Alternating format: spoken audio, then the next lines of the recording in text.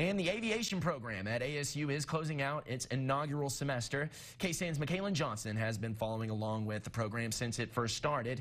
She met with students and the director of the program to get their thoughts on how things went this first term.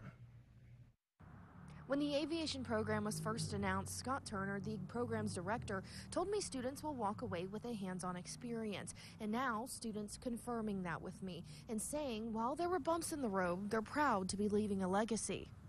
It just gets better from here, and this is a pretty darn good start. For the first round of students, different things attracted them to the aviation program.